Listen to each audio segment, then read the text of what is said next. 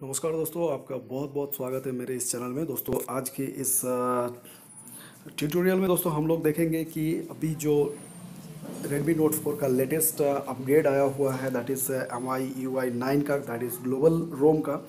इसका इसका फीचर्स देखेंगे क्या क्या नए चेंजेस नए नए नए बदलाव आए हैं तो चलिए शुरू करते हैं आज का ये वीडियो दोस्तों, सबसे पहले देख लेते हैं हमारा जो ये वर्जन है, ये कौन सा वर्जन है? दैट इज़ सबसे पहले ये देख सकते हैं that is M I U I nine global seven point ten point one nine beta version तो दोस्तों, आपने अभी अभी तक अगर इस इसको अपडेट नहीं किया है तो आप इसे कर लें।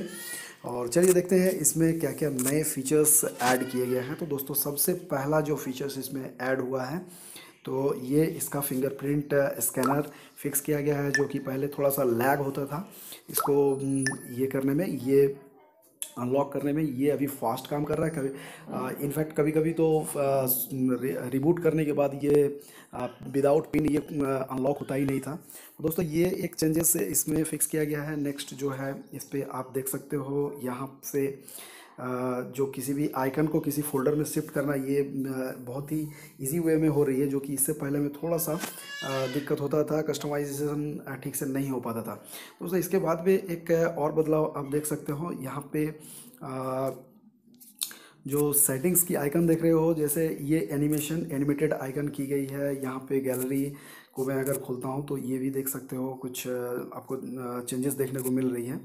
तो ये सारी चीज़ें छोटी छोटी चीज़ें हैं। अब एक, और इसमें जो बदलाव किया गया है यू कैन सी है दैट इज़ दोस्तों, ये जो क्लॉक विजेट है, ये क्या होता था पहले कि कभी आप जब किसी थीम में, दूसरे थीम में इसको सेट करते थे तो ठीक से ये कस्टमाइज़ नहीं हो पाता था। तो दोस्तों, ये जो अपडेट है, इस पर कस्टमाइज़ किया गया, इसको फिक्स किया गया है। अब आप देख सकते हो, ये जो टाइमिंग है एंड डेट वगैरह, ये सारी चीज़ें कस्टमाइज़ ईजीली हो जा रही है।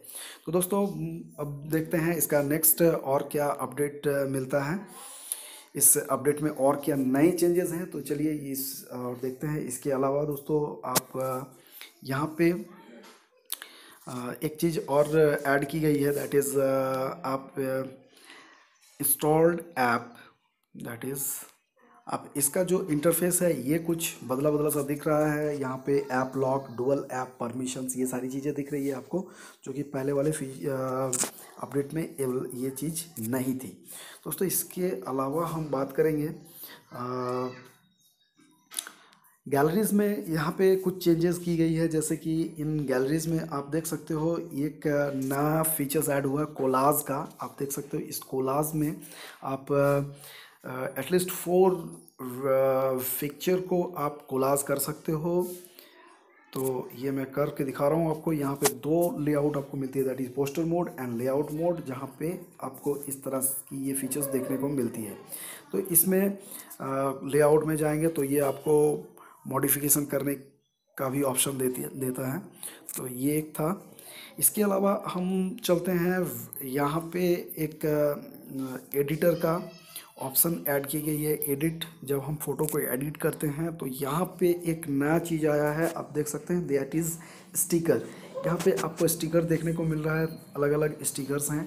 जैसे आप इसको मॉडिफाई कर सकते हैं इस फ़ोटो को तो ये यहाँ पे मास्क दी गई है, आप इसमें मास्क ऐड कर सकते हो। तो दोस्तों, ये सारी फीचर्स इसमें ऐड की गई है एसेसरीज है हेयर है क्यूटी है and words so many things are there so इस तरह का आप इसको मॉडिफिकेशन uh, uh, कर सकते हो किसी भी फ़ोटोज़ को। इसके अलावा यहाँ पे एक और चीज़ें है जो कि पिछले वर्जन uh, में अवेलेबल नहीं था। यहाँ पे मेक इनविजिबल किसी भी फोल्डर को आप इनविजिबल कर सकते हो जो कि फिर आपको ये गैलरी में ये नहीं मिलता है।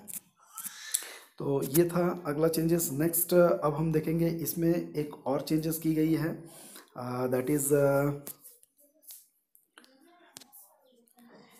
रिसेंट जो ऐप्स है आपका, जैसे कि मेरा गैलरी खुला हुआ है रिसेंट में तो इसको अगर कुछ देर आप होल्ड करोगे तो ये ऑटोमेटिक इस इस जो ऐप है, इसका सारा इंफॉर्मेशंस आपको बता रहा है यहाँ पे कि डेटा यूज़ कितना हुआ, इसका स्टोरेज क्या है एंड कितना वर्जन है ये ये सारी चीज़ें ऐप परमिशन पे आप जाके इसको नोटिफिकेशन में आप इसका ये चेंज कर सकते हो प्रायोरिटी बेस तो ये सारी चीज़ें ऐड हुई हैं एंड नेक्स्ट अगला जो है, यहाँ पे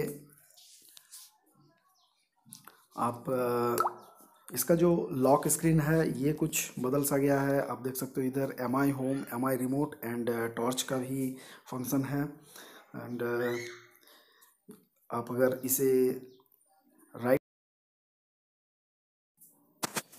तो इसमें अब नेक्स्ट एक और चीज़ें ऐड की गई है, जैसे ही आप इसको अपडेट करोगे तो दोस्तों यहाँ पे आपको एक नया आइकन मिलता है एम आई ड्रॉप का, जहाँ पे आप देख सकते हो, अगर आप एम आई से एम आई में कुछ शेयर करना चाहते हो तो आपको कुछ इस तरह के इंटरफेस देखने को मिलती है इसमें।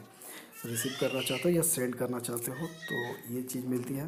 तो फ्रेंड्स इसमें जो अगला जो आपको नई चीज़ देखने को मिलेगी वो है friends M I video player ये एक नया सा वीडियो प्लेयर है जहाँ पे आप बहुत सारी कस्टमाइजेशन इसमें दी गई है जैसे कि आप वीडियो को डुअल ट्रैक अगर आप कोई वीडियो देख रहे हो तो वो डुअल ट्रैक को चेंज कर सकते हो। इसके अलावा फिर आप सब अगर इस वीडियो का ऑनलाइन में कोई सब अवेलेबल है तो वो भी आपको मिल जाएगी। एंड तो ये सारी फीचर नए अपडेट में ये सारी फीचर्स आपको देखने को मिलती हैं। तो दोस्तों उम्मीद है कि आपको ये वीडियो पसंद आया होगा।